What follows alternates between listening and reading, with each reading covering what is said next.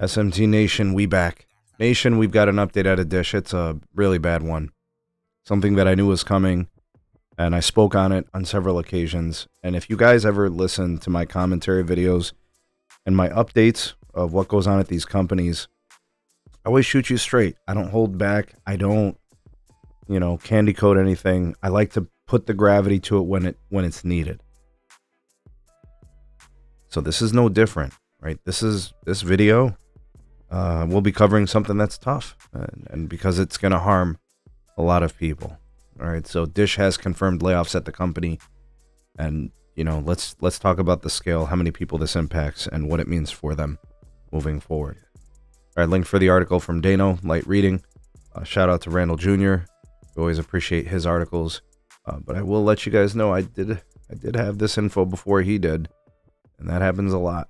You know, your boy does seem to have some pretty good contacts. They're batting a thousand, and they're shooting me straight, and they're they're giving me all the info we need to know what's going on in the industry. If you guys want to follow me on X, where I made this announcement about a week or two ago, you know, maybe check it out there. Uh, my handle will be in the description.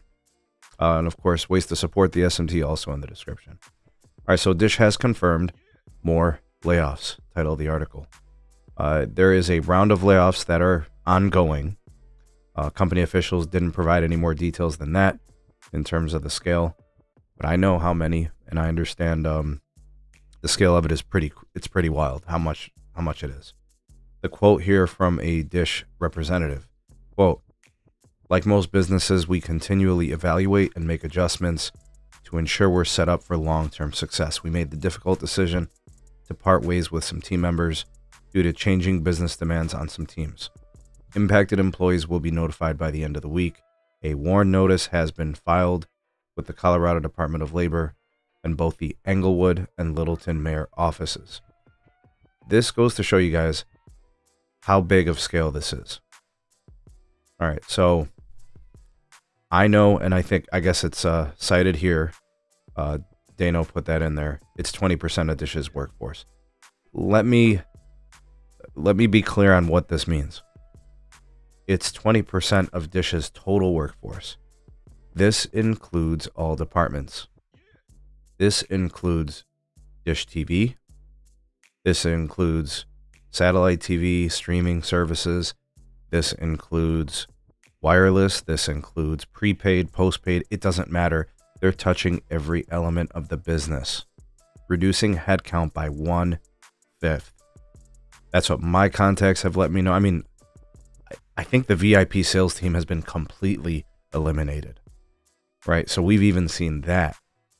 Dish's headcount at the end of 2020 was at 13,500. 16,000 in 2019. So just over the course of the pandemic, they had reduced their headcount by thousands. And with quarter over quarter, year over year, losing business, decreasing and slowing revenues, margins compromised. You know, it, it's just really bad, folks. It's really bad.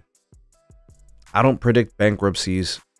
I just look at the business, their inability to compete, properly run a business, like with respect to wireless. We know how bad that retail situation has been.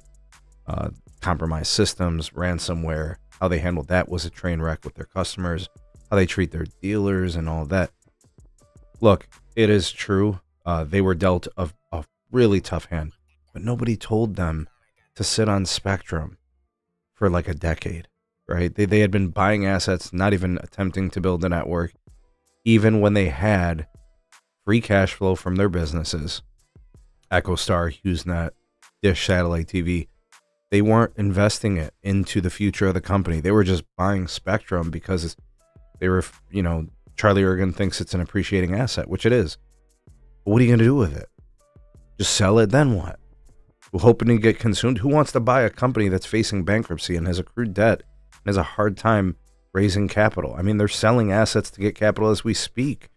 You know, we talked about the Caribbean situation, right? And the sale to Liberty and all those things. It's bad, folks. It's bad.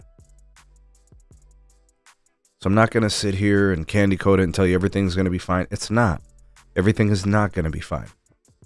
I'll be honest with you, the folks that are employed at Dish, be at attention. even if you're not laid off now, what what sign do you see? What signal that things will get better? Look at the trajectory. Look at the trends. Be ready, folks. This is going to get bad. This is not the worst we're going to see at a dish. I'm not projecting, I'm not predicting. This is trends. I'm not hoping for the downfall of Dish. Nobody has been more pro Dish in all of this, uh, you know, cellular YouTube space than me. And I've had to backtrack on those positions because of what I've been seeing. I'm a realist. I don't live in La La Land. I don't live on Fantasy Island. I'm not delusional. It's bad, folks. It is very bad. Sound off in the comment section below. Uh, let me know what you guys think of all of these developments. If you guys need me, you can find me in the comment section or I'll be wrestling with my little kiddos. We'll see you guys on the next video. Peace.